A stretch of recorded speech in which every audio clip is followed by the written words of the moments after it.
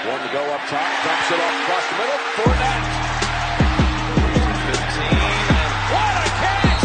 Oh! What is going on, everybody? What is going on, everybody? What is going on, everybody? It is Treeb from Treeb Talks here for another episode of Treeb Talks. What is going on, everybody? It is Treeb from Treeb Talks here, and today, originally, what I was gonna do is I was gonna get on camera and give y'all my WrestleMania 35 predictions, but I know how niche I am. And I know the second you guys don't see the Jacksonville Jaguars in the title, you guys aren't going to click on it. So, what did I do? I made a little spin on things, a little spin on WrestleMania that I think you guys will enjoy. It's going to be what if Jacksonville Jaguar players participated in WrestleMania? Ladies and gentlemen, this is the first annual Duval Mania. I got a whole card of matches. Uh, some of them are funny. Some of them make a lot of sense. Like if like my world championship match, you would be like, oh yeah, those those who would be those who those would be who would be in those matches. But there are some Jaguars of the past. There's actually quite a bit of them, and some Jaguars of now because WWE likes to rely on nostalgia. So Treeb and his Duval Mania also likes to rely on nostalgia, ladies and gentlemen. So without further ado, this is the Duval Mania 1 card. So everybody knows there wouldn't be a WrestleMania without the pre-show, ladies and gentlemen. So in the pre-show, instead of the Andre the Giant Memorial Battle Royal, it's the Jacksonville Jaguars You Forgot Battle Royal. Some of the participants include Cecil Shorts III, Justin Blackmon, Ernest Wilford, Andre Branch, Sen'Derrick Marks, Todd Bowman, and Derek Cox. Now the early winner uh, projected for this matchup is going to be Sen'Derrick Marks because he is just so huge. How is anybody? How is anybody going to toss Sen'Derrick Marks over the top rope? And that was the story of this match. Sen'Derrick Marks lasted up until the end. He eliminated Ernest Wilford, Todd Bowman, and Derek Cox in dominant, dominant fashion. But former drug addict wide receiver Justin Blackmon was also putting in the show during the final three, eliminating Cecil Shorts III. So you got big, stout Justin Blackmon going up against 300 pounder Sen'Derrick Marks in the finals of the Jacksonville Jaguars. You forgot Battle Royal, and they traded blows left and right. Sen'Derrick Marks was about to run off the off the ropes and toss Justin Blackmon over the top ropes, but Justin Blackmon takes down the top rope, and Sen'Derrick Marks goes tumbling over the top rope. That's right, ladies and gentlemen. Justin Blackmon is your winner for the first ever Jaguars You Might Have Forgot Memorial Battle Royal and kicks things off on Duval Mania with a victory. And now we are on to the main card, ladies and gentlemen. To kick off the main Duval Mania card, we have a cruiserweight title ladder match between Dede Westbrook, AJ Bouye, Keelan Cole, Chris Conley, Ronnie Harrison, and DJ Chark. These are the six men that have made Duval 205 live. This is why people tune in. The battle between DJ Chark and AJ Bouye has gained some five star ratings from Mr. Tree Meltzer on the Duval Observer, and they are now going to be clashing with four of the other best cruiserweights in the world, and they are in Duval Wrestling Entertainment, ladies and gentlemen. So this match kicks off, and there's a lot of high spots. AJ Bouye intercepting Keelan Cole with a double drop kick to the face. Chris Conley and Ronnie Harrison were trading blows on top of the ladder, trying to capture the Cruiserweight Championship to be the Cruiserweight Champion of Duval Wrestling Entertainment. But AJ Bouye tips the ladder over, and in the final sequence, Dede Westbrook is climbing up the ladder to regain his Cruiserweight Championship. But right on the other side, Ronnie Harrison from the top rope jumps midway up to the ladder, and we got a battle going on on top of the ladder. We got Ronnie Harrison, we got Dede Westbrook battling for the Duval Cruiserweight Championship. Who is going to get it? And on a last second Enziguri to Ronnie Harrison, Dede Westbrook holds up the JWE Cruiserweight Championship after a brutal brutal ladder match between these five athletic cruiserweights, and Dede Westbrook survives and regains his JWE I mean, his DWE Duval Wrestling Entertainment, not Jacksonville. I decided that during the intro. So, Dede Westbrook regains his Cruiserweight Championship and is reigning wild on DWE 205 Live. The next match on the card is the Duval Wrestling Entertainment United States title match between Brandon Linder and James O'Shaughnessy. Why did I pick Brandon Linder and James O'Shaughnessy to be participating in the United States Championship match? For one simple fact, and that is they seem like they are the most American Jaguars on the roster, especially Mr. Brandon Linder, who's been the longest reigning United States champion in DWE history ever since he came into Jacksonville. This man has been walking and talking and defending his United States championship, and against James O'Shaughnessy, that was no different. These two have been building a match for weeks, talking about who hunts better, who listens to more country music, and who can gut a full can of chew. These two men are going to be meeting in the main stage coming up next. And we are back, ladies and gentlemen, and we got James O'Shaughnessy and Brandon Linder going back and forth in the middle of the ring. James O'Shaughnessy, big lariat in the corner to Brandon Linder. Linder looks like he is in trouble, but bam! Quick super kick right into the face of James O'Shaughnessy. Brandon Linder climbs to the top rope and hits his famous side flip belly flop right onto James O'Shaughnessy to get the one, two, three. Mr. Brandon Linder regains his United States Championship of Duval Wrestling Entertainment and continues the longest reign of any champion in Duval Wrestling Entertainment.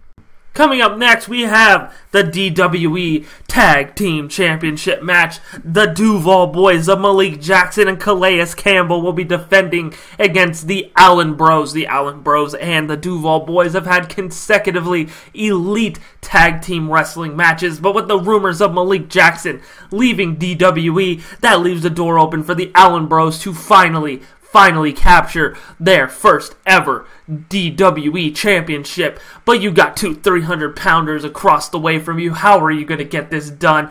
Oh, to start off the match, Malik Jackson and Calais Campbell are taking apart Allen Hurns, focusing on his injured ankle that he hurt during the Dallas Cowboy game. That's what happens when you work two really hard jobs of a professional football player and a professional wrestler. His ankle was not all the way healed healed, but Calais Campbell, Malik Jackson looking like true monsters, keeping him in the corner, making sure he doesn't make a tag until Malik Jackson gets a little bit too comfortable. Alan Hearn starts punching him in the face, he gets him rolling, and then bam! Quick drop kick, everything Allen Hurns had. The crowd is going wild. Everybody is waiting for Allen Hurns to make the hot tag to Allen Robinson, and he does! He knocks Calais Campbell off the apron, focusing all of his attention on Mr. Malik Jackson, and he is going to work left hand, right hand, drop kick, top rope, elbow drop, and he misses. Malik Jackson lining it up in the corner for his famous finisher, and Alan Hearn, Allen Robinson moves Allen Hurns with an elbow to the face and a reverse neck breaker, the finisher of Allen Robinson right to Malik Jackson, and that is your pinfall. The Allen Bros are the new Duval Wrestling Entertainment Tag Team Champions. Next up, we have the Intercontinental Championship match, the title that is known for being put on the waist of the biggest workhorse in the business, and that's why we got Paul Posluszny taking on Brad Meester for the Intercontinental Championship. Two men that, to define the word great, they have worked their whole entire lives and have never really gotten a world title match, but they have held it down with the Intercontinental Championship for quite some time. These two have been feuding throughout the year. This is their big blow off match and a last man standing match. This time it's personal. Paul Posluszny and Brad Meester battering each other with everything they could get their hands on until BAM! A big steel chair shot right into the head of Paul Posluszny, but his neck is so thick that it does not affect Paul Posluszny. He's taking chair shots to the head like it's not even phasing him. And Mr. Brad Meester is looking scared. He's looking confused until Paul Posluszny takes the steel chair away from Meester, batters him in the head with it, and he is down until an eight count. Brad Meester gets right back on top. Both men battling on top of the on the top rope, the announcer table right in sight. These two big men are gonna implode the announce table as Paul Posluszny sends Brad Meester through the announce table. These men are struggling. Which man is which man's gonna get up at the count of ten? Paul Posluszny is on the ground. He can't get up, but he relies on the power of his neck. He sits up, he bridges up at nine, ten, and Paul Posluszny with the power of his neck is able to regain the DWE Intercontinental Championship. Coming up next, we have the most anticipated match on the card, or at least one of them. It's the Battle of the Billionaires, Wayne Weaver versus Shad Khan. But these two old men are not wrestling. They are going to be picking their participant and who they want to defend their honor in this match. It is who is going to own the Jaguars. We got Marcel Darius representing Shad Khan versus John Henderson, who is representing Wayne Weaver. John Henderson, of course, has the longest DWE undefeated streak as this man was not able to get hurt. He'd take multiple hits to the face and he would just laugh it off and sometimes scream right in your face that he loved the pain that you were inflicting on him. Marcel Darius, though, he's no joke either. These two have never met one on one, but they are going to do it for the first time at Duval Mania. And for Shad Khan and Wayne Weaver's honor, these two matched up and they were trading chops left and right. A heavy hitting battle between two super heavyweights in the middle of the ring. What is going to happen, ladies and gentlemen?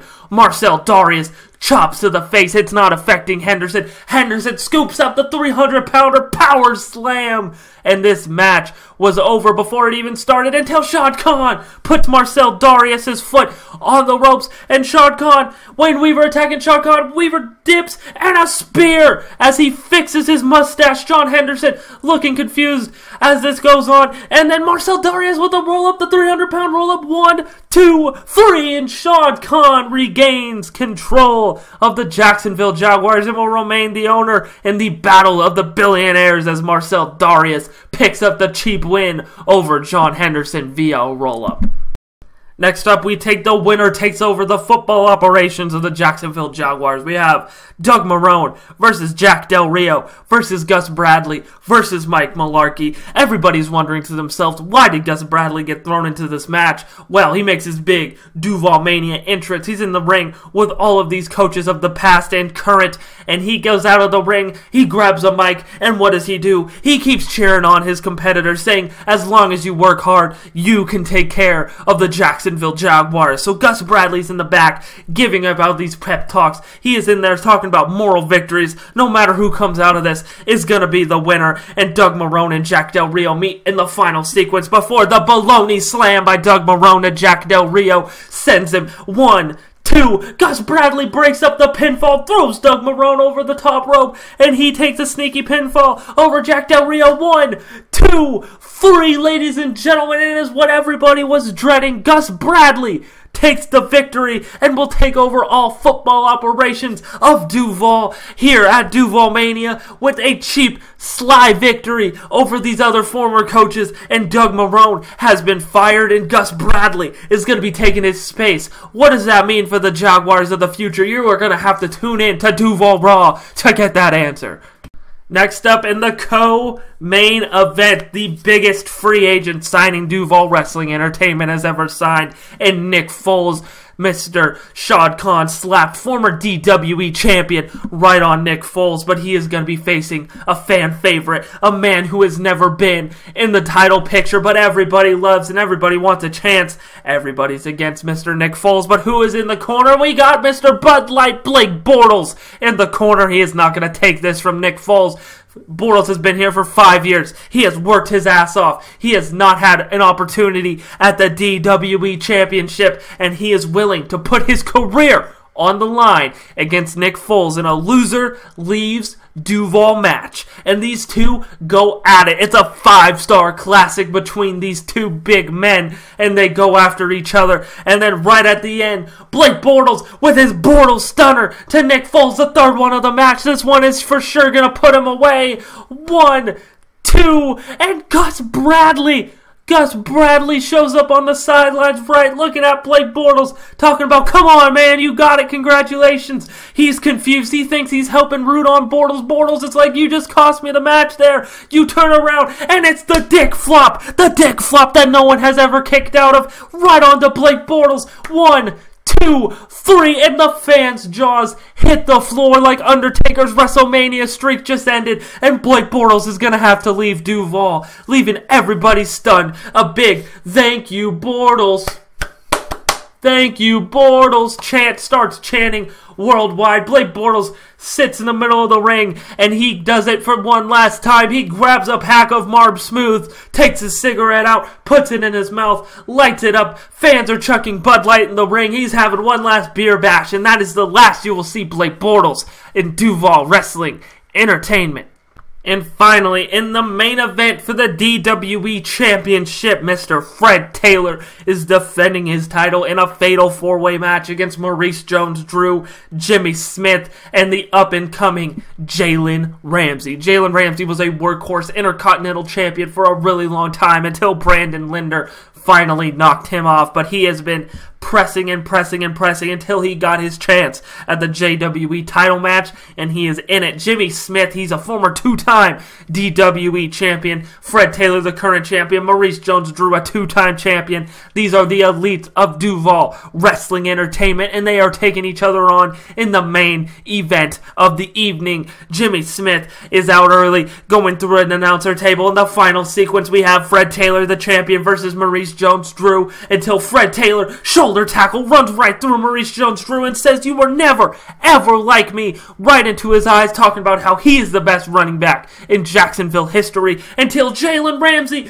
comes out of nowhere, backflip said Todd from the top rope, and Jalen picks up the victory in his first ever Duval Wrestling Entertainment Championship. In the process, he stands it over and said, I told you I was going to win that bitch. I told you I was gonna win that bitch. The fans are going crazy, and the lasting image you see at Duval Mania is Mr. Jalen Ramsey holding high the Duval Wrestling Entertainment Championship belt. And that was, ladies and gentlemen, my Duval Wrestling Entertainment Mania card. What'd you guys think? Leave your comments down below. Don't forget, you can check links down below as well. You can like me on Facebook at Treeb Talks. Follow me on Twitter at Treeb Talks. Follow me on Instagram at Trayvon Pixley. Also, if you haven't yet, hit that subscribe button. Click the bell icon so you get notified every single time I drop a new video. I drop new content on this channel six days a week. Ain't nobody at work me. Them is just straight facts. Thank you guys so much for watching this video. And as always, you guys have a great day.